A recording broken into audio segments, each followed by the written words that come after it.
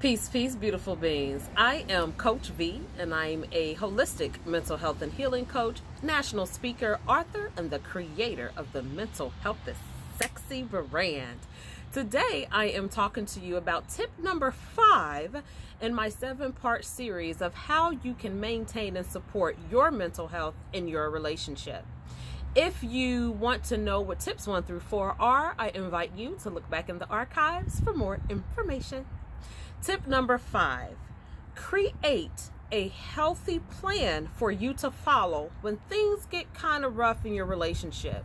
So, if there's a disagreement that occurs, an argument, a fight, a silent treatment period, you want to already have in place a plan of action that's healthy for you to get you back into your inner peace and inner calm state whether it's exercising, going for a walk, putting together a puzzle, journaling, phoning a friend, or knitting, you want to have a plan in place that allows you to come together and woosah, process the moment, even if you may be addressing the issue later.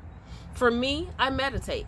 I light some candles, I write out some affirmations, I may do some journaling, and I mentally go over and reassess where the conversation went wrong.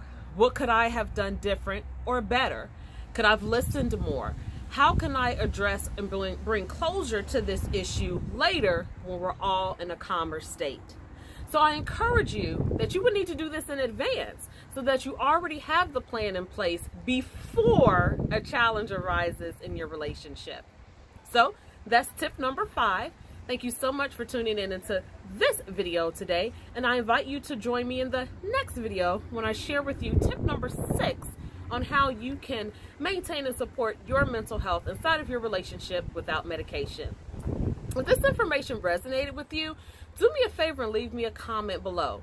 Give me a heart on Instagram or give me a thumbs up on YouTube and either tag a friend or share this platform with them and maybe your friend can follow me too.